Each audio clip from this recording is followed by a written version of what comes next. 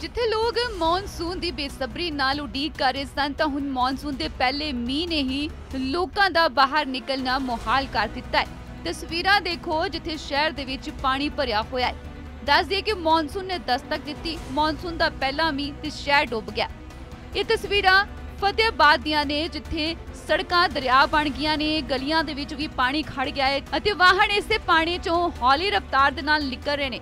ਸਭ ਤੋਂ ਵੱਡੀ ਮੁਸ਼ਕਲ ਇੱਥੇ ਸਕੂਲ ਜਾਣ ਵਾਲੇ ਬੱਚਿਆਂ ਲਈ ਹੋ ਰਹੀ ਹੈ, ਜੋ ਨਿੱਕੇ ਨਿੱਕੇ ਬੱਚੇ ਇਸ ਪਾਣੀ ਦੇ ਵਿੱਚੋਂ ਨਿਕਲਣ ਲਈ ਔਖੇ ਹੋ ਰਹੇ ਨੇ, ਕਿਉਂਕਿ ਇੱਥੇ ਗੋਡੇ ਗੋਡੇ ਪਾਣੀ ਖੜਾ ਹੋ ਗਿਆ। ਸੜਕਾਂ ਦੇ ਉੱਤੇ ਨਿਕਾਸੀ ਕਿਸੇ ਪਾਸੇ ਨਹੀਂ ਹੈ। ਪਾਣੀ ਦੀ ਮੀਂਹ ਹਟ ਵੀ ਜਾਏ ਤੇ ਕਾਫੀ ਦੇਰ ਤੱਕ ਸੜਕਾਂ ਦੇ ਉੱਤੇ ਪਾਣੀ ਇਸੇ ਤਰ੍ਹਾਂ ਖੜਾ ਰਹਿੰਦਾ ਹੈ, ਜਿਸ ਤੋਂ ਲੋਕ ਡਾਢੇ ਪਰੇਸ਼ਾਨ ਨੇ। ਉਹਨਾਂ ਦਾ ਕਹਿਣਾ ਹੈ ਕਿ ਜਦੋਂ ਮੌਨਸੂਨ ਆਉਣ ਵਾਲਾ ਸੀ, ਤਾਂ ਇੱਥੇ ਪ੍ਰਸ਼ਾਸਨ ਨੂੰ ਪਹਿਲਾਂ ਹੀ ਇੰਤਜ਼ਾਮ ਕਰਨੇ ਚਾਹੀਦੇ ਸੀ ਤਾਂ ਜੋ ਪਾਣੀ ਦੀ ਨਿਕਾਸੀ ਹੋ ਸਕੇ ਤੇ ਸੜਕਾਂ ਜੋ ਹੁਣ ਦਰਿਆ ਬਣੀਆਂ ਨੇ, ਇਹਨਾਂ ਵਿੱਚੋਂ ਲੰਘਣਾ ਔਖਾ ਹੋ ਰਿਹਾ ਹੈ।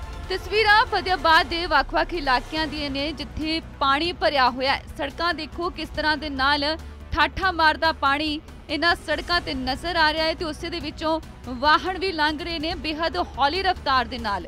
ਬੱਚਿਆਂ ਨੂੰ ਸਭ ਤੋਂ ਜ਼ਿਆਦਾ ਮੁਸ਼ਕਲ ਹੋ ਰਹੀ ਹੈ ਕਿਉਂਕਿ ਬੱਚਿਆਂ ਦੇ ਲਈ ਇਹ ਪਾਣੀ ਗਹਿਰਾ ਹੈ।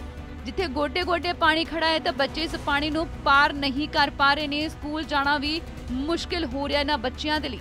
ਬੇਸ਼ੱਕ ਇਸ ਮੀਂਹ ਦੇ ਨਾਲ ਗਰਮੀ ਤੋਂ ਰਾਹਤ ਮਿਲੀ ਹੈ ਹੁਮਸ ਘਟੀ ਹੈ ਤੇ ਲੋਕ ਸੁੱਖ ਦਾ ਸਾਹ ਵੀ ਲੈ ਰਹੇ ਨੇ ਪਰ ਹੁਣ ਇੱਥੇ ਉਹਨਾਂ ਦਾ ਬਾਹਰ ਆਉਣਾ ਜਾਣਾ ਮੁਹਾਲ ਹੋ ਗਿਆ ਹੈ ਰਾਹਗੀਰ ਇੱਥੇ ਪਰੇਸ਼ਾਨ ਹੋ ਰਹੇ ਨੇ वैसे बताएंगे आज जो बरसात हुई है तो शहर में क्या हालत है जी ये मानसून की पहली बारिश है इस बारिश में ही प्रशासन के गांवों की पोल खुल रही है देख लीजिए आप पानी की निकासी का कोई भी प्रबंध नहीं है और गलियों में जो काम चल रहा था पाइप लाइन डाल रहे हैं उसकी वजह से खड़े हुए पड़े हैं और लोग लोगों की स्कूटी बाइक और स्कूलों की बसें तक फंस रही हैं प्रशासन को इसकी तरफ भी ध्यान देना चाहिए कि मानसून आने से पहले सारी कार्रवाई पूरी कर लेनी चाहिए थी तो काफ़ी दिक्कतें हुई हैं जी काफ़ी दिक्कत वाली आपके सामने ही है देखो जल भराव कितना है